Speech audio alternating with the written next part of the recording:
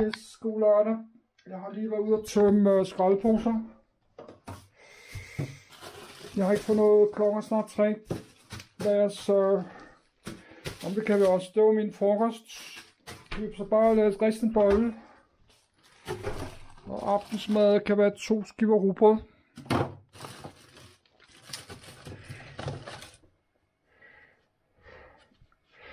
Yes, lad os åbne sådan en øh, picantost. Jeg har hverken fået morgenmad eller frokost.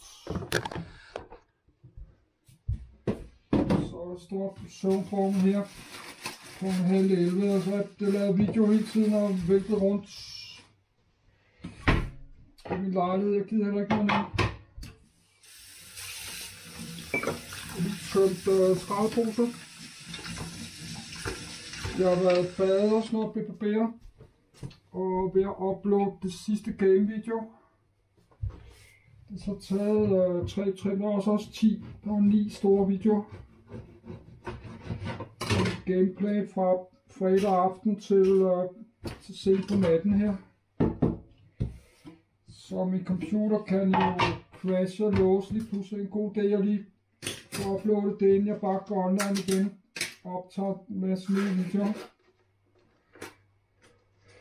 Det er fordi jeg spiller mange timer. Jeg kan jo spille øh, over 10 timer, så, så hvis jeg stopper videoen efter cirka så lidt over en time, jamen, så bliver det altså mange videoer. Så 12 timer er lang tid. Det er derfor jeg laver sådan nogle øh, lange genvideoer på 8 timer eller sådan. Hvis jeg skulle til at splitte dem op i øh, videoer på en halv time, så var det jo 16 videoer. I stedet for en på 8, en halv time, så er det jo så 17 videoer på en halv time. Ja. Så jeg kunne godt have mange flere videoer, hvis alle mine gamevideoer var splittet op til, til mellem 20 minutter og en halv time, jamen så har jeg haft lidt 1000 videoer, så har jeg haft 30.000 videoer under sådan noget. Nu er jeg tænkt at tænde på resten. Yes, jeg behøver selv at gå og optage alt det her jeg går og laver min lejlighed, men det er jo det, er det eneste, der sker i mit liv, jo. Det er jo mit øh, liv, det her nu, som YouTuber. Mit liv i den lejlighed her. Og min hverdag, og mine vægtproblemer og dårlig økonomi. Og mit øh, gamle computer og sådan noget. Anders Sandblad og Lego og alt muligt crap. Så jeg kunne godt tænke mig noget øh, helt andet. Skal der i hvert fald nu en øh, 1444. Det var da meget sjovt tal. Med mit vægkur er et minut foran eller sådan Yes, jeg har så glemt at, glemt at tænde for bådresteren, så nu bliver videoen lidt ekstra lang.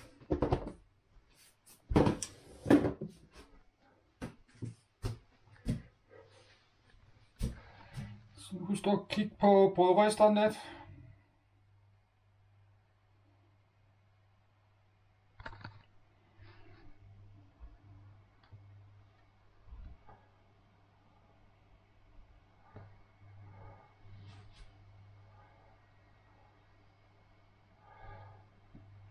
Jeg spiller ud, jeg tror ikke så godt, der, der er varm brødristeren.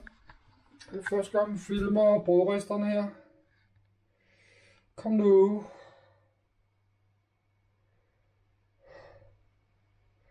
Yes, vi kan også gå ind og sove lidt, mens den en nånden færdig. Nu vil vi gå ind og sove lidt, mens enten er færdig med rister.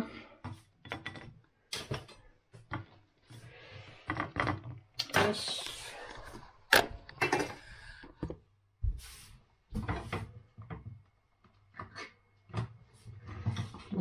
Og der har, de har tit det her Buco Picanto, så har de til 10 kroner.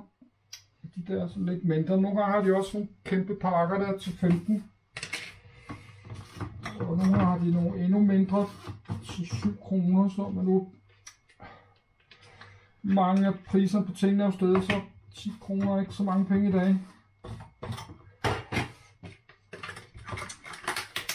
Så man kan jo dog nok få en rulle øh, vingummi for 10 kroner i kiosk, tror jeg.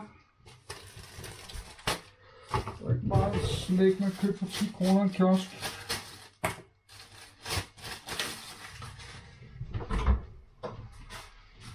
Lige spis det her.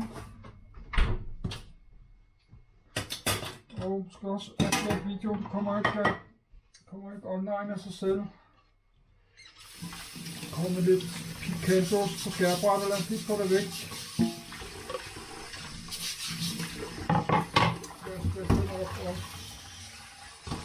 Og med de der brød, de bliver jo koldt i løbet af af et minut, så nu kan jeg også stå og spise her.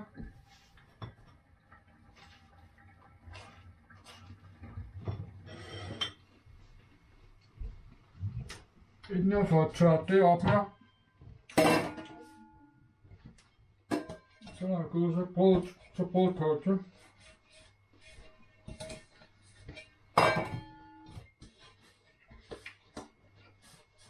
Men jeg fik så ikke uh, ordnet den sidste skuffe fuld, så må jeg lige gøre det i morgen. I morgen søndag lige få taget mig sammen, lige hive den ud og tømme den. Og kigge den igennem og øh, uh, skylle den af for is i, inden i og i bunden.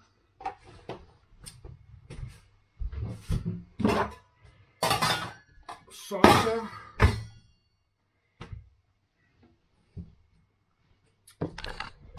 Skal lige uploade. Der er tre videoer. Jeg har også været ude at tømme. Der er to videoer, jeg tømmer skrald på. Men nu klokken er altså næsten tre. Og også noget video, der mangler at komme offentligt der. Også lavet sådan en komment på bedre tider, fordi øh, så kom jeg glemt 800 kroner på Olafskøen. Det er jo mange penge.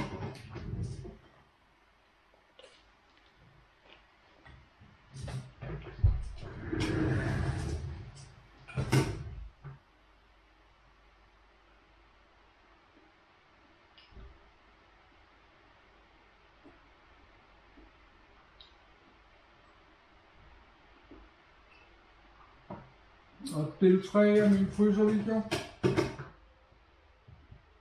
Og John venter på bedre tider. Del 140, det får jeg jo nok lov til at vente mange år nu.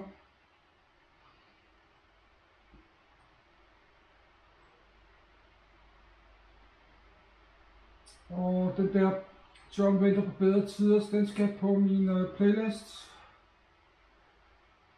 Der har jeg lavet en i forhold, så er 140 skal de scrolle ned. Det tager jo længere og længere tid at scrolle ned i vi skal dele 139 og så dele 140.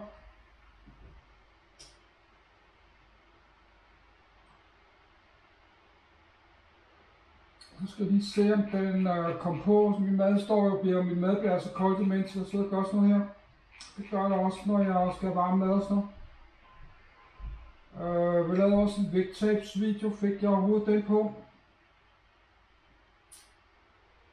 Uh, mit vægttab, det er 125, jeg tror den kom på, må de tjekke. Det gør den, må de tjekke, må de spise, mens, mens brødet er varmt.